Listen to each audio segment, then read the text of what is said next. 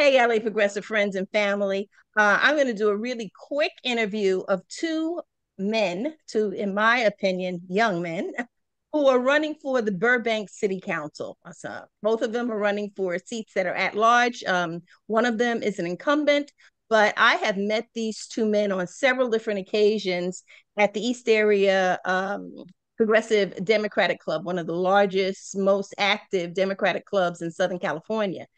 And they're both really, uh, they're progressive and they're impressive.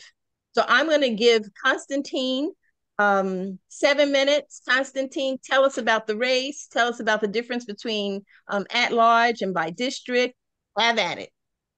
Okay, thank you, and uh, I appreciate your uh, time, Sharon, for uh, hold, holding these interviews. It's important for folks to get a weigh in um, by people who know what they're talking about and and uh, know the electorate and uh, know the field. Um, my name is Konstantine Anthony. I use he, him pronouns. I am currently the incumbent uh, Burbank City Council member. Um, I'm running for a seat, uh, one of two seats at large. At large means um, all uh, voters in the district vote for all of the seats, and because there's two seats up, the two the top two vote getters will end up uh, winning the seats. Um, we discussed going to districts in Burbank. We were looking at going into five districts, which would have split it up uh, so that we wouldn't compete against each other. Um, that was kind of delayed. There was a couple of legal hurdles, but uh, one of the promises I made uh, in this next term is to definitely move the city towards districts. That actually helps smaller grassroots candidates. Uh, when you divide the city up, you have smaller portions that you need to knock doors, and door knocking and canvassing uh, is the best way to fight back against big corporate donors who just leaflet and paper and advertise uh, with a bunch of money. So I believe, I firmly believe, and uh, the California Supreme Court uh, agrees with me that all things being equal, districts help disenfranchised and um, uh, um, um, lower uh, uh, non-corporate grassroots candidates. so one of the things I wanted to really point out in this election um, is a little bit of change of pace of what I did last time. I'm actually running on a slate uh, with Mike Van Gorder. The two of us are sharing as much resources as we can. We are canvassing for each other. We're helping each other out in different areas, uh, endorsements and um, fundraising and all of that. Uh, we just, the both of us, got endorsed by the East Area Progressive Democrats last week. We are both endorsed um, by DSA Los Angeles, uh, Ground Game LA. Um, we have the California Federation of Interpreters, uh, Local 39,000 is uh, endorsed us as well. So we do have labor support, we've got uh, party support. Um, we are trying to make folks aware that this race is important. There are a number of folks running as Democrats who used to be Republicans up until just a couple years ago, and they are pretending to be progressives. They are pretending to be capital D Democrats, um, but we know they're not. And this is a, a big problem. In fact, um, Adam Conover did a really great expose on this uh, a couple months back during the March primary. How you have uh, fake progressives running, saying all the right things, but then you look at their voting record and they absolutely are not. And they take all kinds of corporate money, all kinds of developer money, uh, endorsed by police associations, all of that stuff. Uh, so Mike and I are running a clean campaign, no corporate money. Uh, we're not taking any money from fossil fuel executives or or realtors or uh, police associations or any of that corrupting force. Um, that can really change the the the game when you talk about local politics. Um, I've been in office almost four years. In that time, we have passed the first ever tenant protections in the city of Burbank, the first ever gun control ordinance in the city of Burbank. We have finally, finally earmarked money for an actual homeless shelter in the city of Burbank, which hopefully will be opened, uh, but we're looking at early December, just in time for the winter months. Um, we um, capped delivery fees with Uber Eats and DoorDash during the pandemic. They were price gouging uh, our local restaurants and uh, uh people just trying to feed themselves. Um, we gave five dollar extra an hour pay, hero pay, to our grocery store workers during the pandemic. We had uh, vaccine and mask mandates. We kept our people safe. After the pandemic, we had an aggressive uh, economic uh, response to our local small businesses. We uh, spent almost fifty thousand dollars doing a huge uh, restaurant uh, campaign, trying to get folks to come back to eating uh, on the patio and outdoors. We really pushed all of that outdoor dining. If you've been to Burbank recently, you'll see uh, our restaurants are thriving because we changed the zoning to help them out. Um, in the last four years, I and my fellow council members have approved more housing, more housing than the prior 20 years to me getting into office. So we are tackling the housing crisis. We are building density and we're building affordable housing and we are uh, doing everything necessary to make sure people have a place to live. And lastly, I will say uh, the, the two things that are most recent. Um, one, we are moving forward with a rent cap this is a big deal in the city. On October 1st, we are looking at a final um, hearing to cap rents in Burbank. That is a, uh, a, aggressive rent control strategy that we've never had in the city. And just last month, uh, on a 5-0 vote, we had the city council vote to um, uh, uh, ask and demand a ceasefire in Gaza. That was a, a huge push for us, and we got a unanimous vote on that. So uh, I appreciate your support. If anyone is interested, uh, my website, konstantineanthony.com, uh, you can find out more about me. And uh, Sharon, thank you so much for taking the time.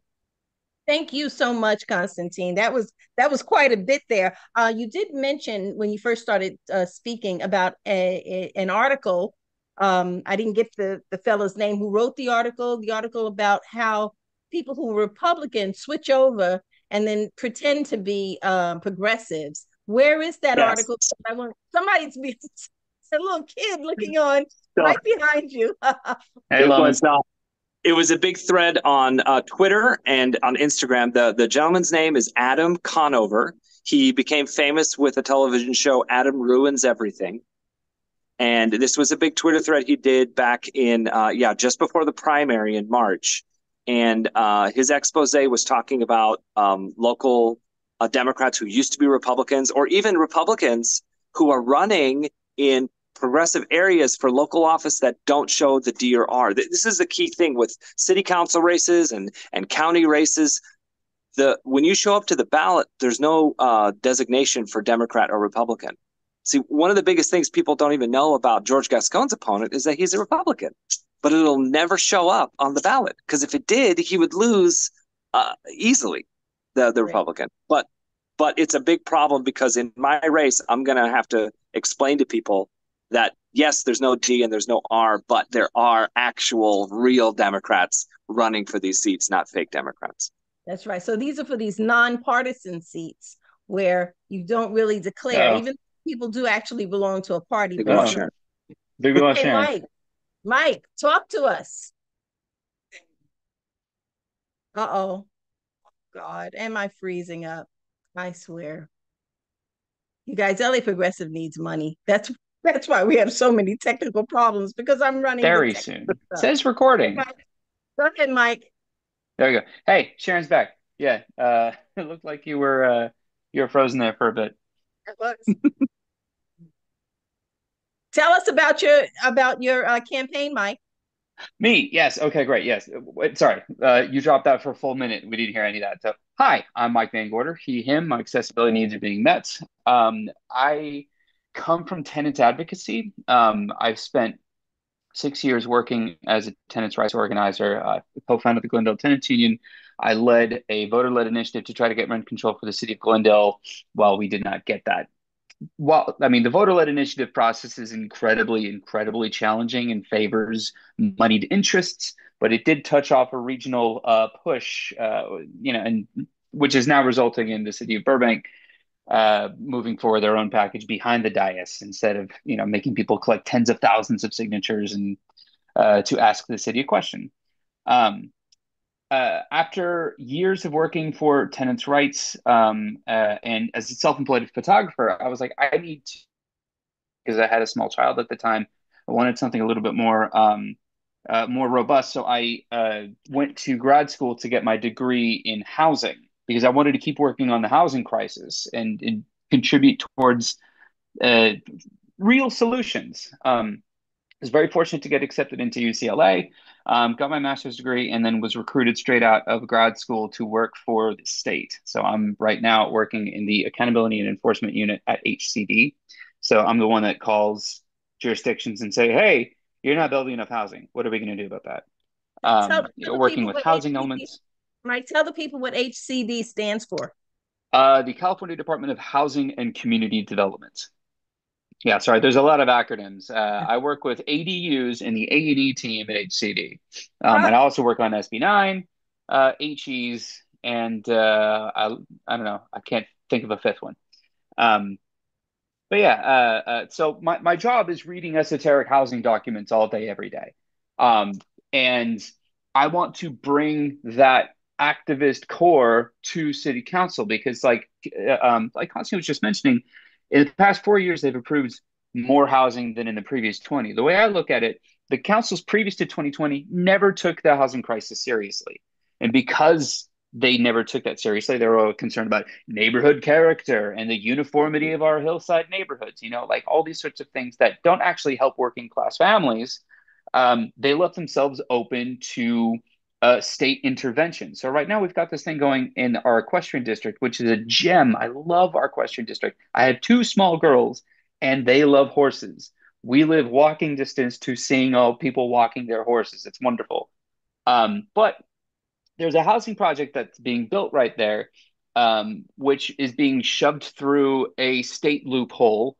Um, which you know you hear like, okay, more housing is good, sure, yes, but uh, this is a rare case where uh, the neighborhood character actually is do, it, like it's under threat. Uh, there's a whole microeconomy when it comes to the equestrian district, and uh, these greedy developers bought this lot, refused an immediate sale offer of like, hey, do you want to profit three million dollars for doing nothing other than just buying this lot? Because we don't want this to turn into the wrong kind of housing. And when I said the wrong kind of housing, this is a single family neighborhood you know, all ranch style houses. Not, I don't think there's uh, any two story homes that abut this area. Um, and they want to build a five story luxury development tower next to a single lane road across from the only horse bridge over to Griffith Park. So when I say a threat to the equestrian district, that's what I mean. Like if you cut off the main way to get to Griffith Park, people can't take their horses into Griffith Park, and that includes the like uh, uh the, the LA County Forestry service that rides horses up into the hills, they can't get to it from this from this path anymore. So, like, I'm an urban planner. I want to plan appropriately.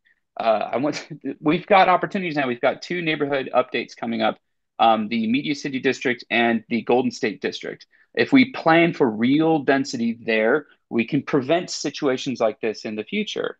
Um, there's also an opportunity, like if we uh, change our building standards on our busiest streets, we can build uh, multifamily housing that's targeted more towards working class families and not just these giant dumb boxes with soap names like Altana and Old Mega, citric acid, whatever.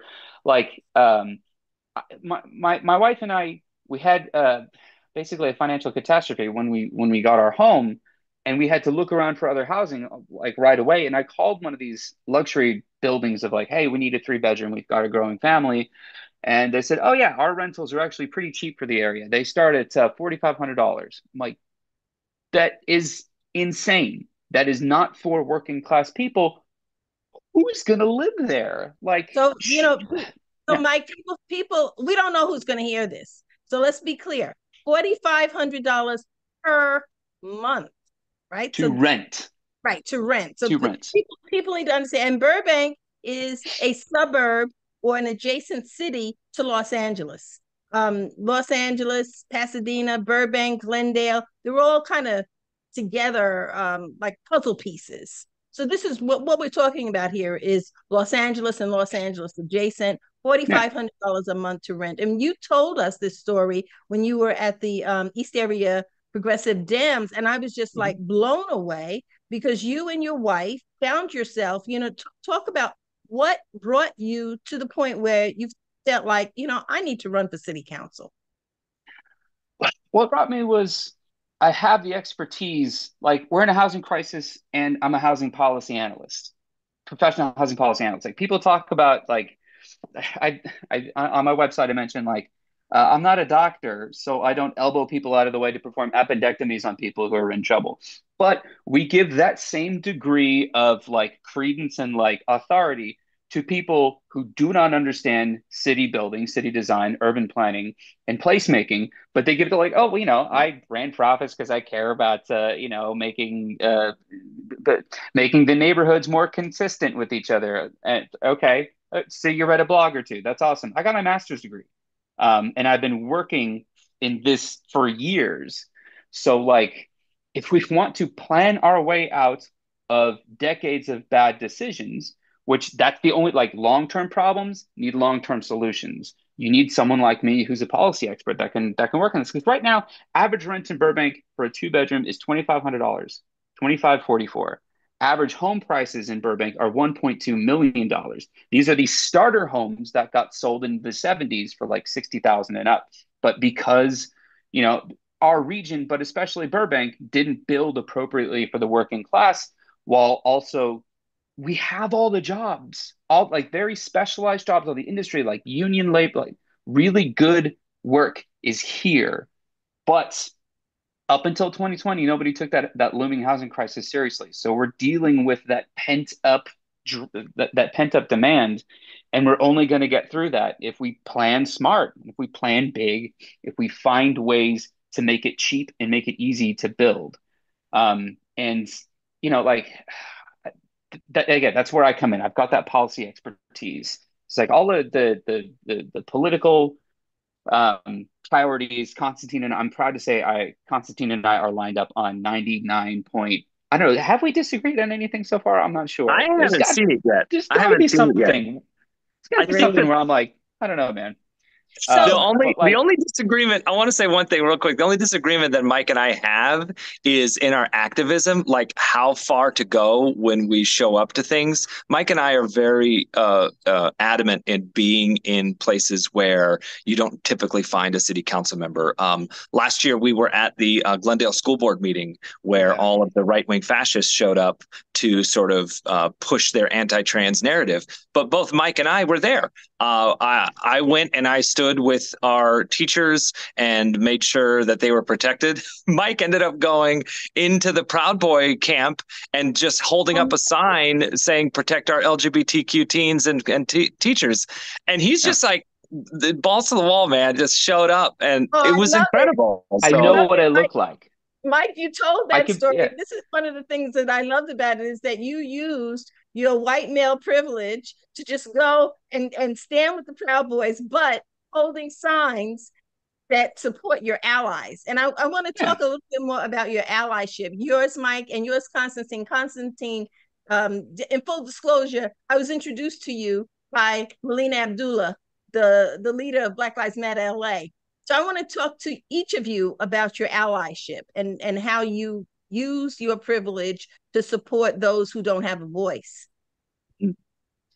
Yeah, first and foremost, I want to point out that come December, uh, in all likelihood, uh, the city of Burbank, with their rotational mayorship, will end up getting the first queer Latina mayor in history. Nikki Perez, who will likely be the youngest mayor ever in Burbank history as well, needs folks to support her. She needs council yeah. members who will stand with her. And um, just as we're seeing right now uh, at the top of the ticket with uh, the vice presidential nominee, when you have cisgender straight men show up to support uh, women, women of color, queer folks, the the most marginalized people running for office, when they're flanked by folks like Mike and myself, it, it sends a message. It says, no, we're here as a unit. We are here together. This is a, a, a solid blue wall and it will not be penetrated. Um, and so I really do appreciate all the work that Mike has done, uh, marching for Black Lives Matter, showing up to the um, to protest against the anti-trans rallies, um, all of the things that we see in and around the city, even in in blue areas like LA and Burbank and Glendale. There's always always pushback, and um, I'm I'm proud to say that the two gentlemen right here push back harder. Yeah. Awesome. Then uh, one more thing I wanted to mention is um, I recently completed a four-year conversion process to Judaism, which I'm very like. I find a lot of comfort in Judaism. I think it's a beautiful faith. Um, but at the same time, like uh, I, I'm most comfortable going to uh, calls for ceasefire uh, with If Not Now. It's a Jewish organization calling for peace in Palestine.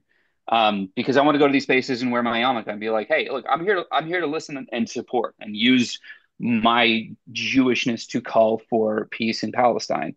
Like you talk about like uh, women of color are uh, flanked by uh, straight white dudes.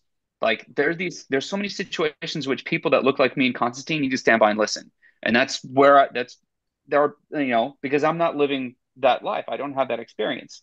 But I empathize and I want to show that allyship. You know, so I was standing in the middle of the Proud Boys, being like, protect and respect LGBTQIA kids and teachers. It's like I'm not gay, but I love people who are, and even I didn't know them, like you know, it's a phony culture war that they're using to attack our public institutions to turn them into political agents for their agenda. And bullies don't pick on people their own size. Um, so I want to use that privilege every single chance that I get, like as a straight white cisgender male, um, and just put me between, uh, uh, uh, you know, put my body between people who mean other people harm when they look nothing like them. Because I know that they're like it, with the the the the um, Declaration of Pride Month at the Middle School Board, Pride Boys showing up. It's like they thought, oh, it's just going to be the blue hairs, you know, the, the people with the, the, the funky hair and the rainbow pins and whatnot, and you know, a bunch bunch of people who don't look like us. And it's like, no, man, I look exactly like you, and you, I'm not on board with your agenda. And not like it was framed very, very offensively, in my opinion, as uh, Armenians versus Antifa. Um, uh, but I w- got into the actual school board meeting where people were speaking. I sat next to maybe a girl, an amazing trans leader in uh, in Silver Lake, and I want to say out of the 60 people that I heard speak, 40 of them, 40, 45 of them were Armenian. Um, and out of that amount, maybe three or four people were uh, were opposed to respecting gay people. And everyone else is like i'm armenian and i care about my gay neighbors. And i'm armenian i care about my gay neighbors. Like so many people on the uh, on the school board are armenian as well and they passed the, the resolution you know uh, unanimously. So like the the framing after the fact of antifa versus armenians like no man like that is a that is wholly in the wrong but you know the narratives exist because it people want to simplify the world and make it make it teams versus other teams yeah. you know whereas progressivism and the left in general, and you know, pe- people like uh, us in this room, to like, no, we have so much more in common than we have differences. And when we cooperate on like what you care about, are you going to back on, on? I'll back you on what you care about, and then at, at, at some point you're going to do the same for me. You know, the rising tide is when we all build each other up, and that's what that's we want right. to do. That's what the LA Progressive wants too. So, Mike Van Gorder and Konstantine Anthony, I appreciate you spending some time with us. We're going to catch up again with you guys in the future because um, you have a lot of information to share. And and to be quite frank, it's very unusual for me to sit with two young cisgendered white progressive men because they're just um, kind of quiet. We're trying to change that. Not, yeah, not, right. all of us. Thanks, guys.